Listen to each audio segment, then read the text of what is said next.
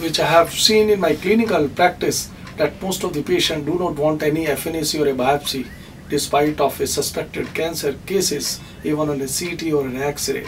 And the myth is that once you are going for a FNAC or a biopsy, cancer will spread and patient will die within a short period. But this is not true. As a medical oncologist, I always believe that FNAC or a biopsy should be done by the experts. They knows from where they will take the FNAC, whether it's a CT guided or a ultrasound guided or a required a, a specific OT requirement for such FNAC and biopsy. But I tell you,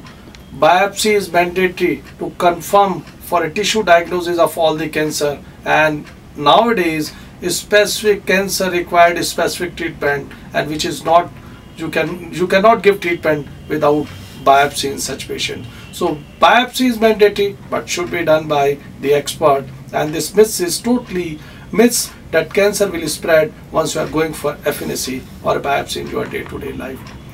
Cancer is a disease which is like a chronic disease, required a treatment, experts observation and follow-up and most of the time patient forget to follow up the patient properly and they come only the medical oncologist or the experts when they have a relapse of disease. So my dear friends, I can convey the message very clear to you that once you have a cancer, always keep your follow-up regularly with your experts so you can pick up the relapse or a recurrence of disease in early stage. And then we can say that again you have a curative intent treatment rather than palliative intent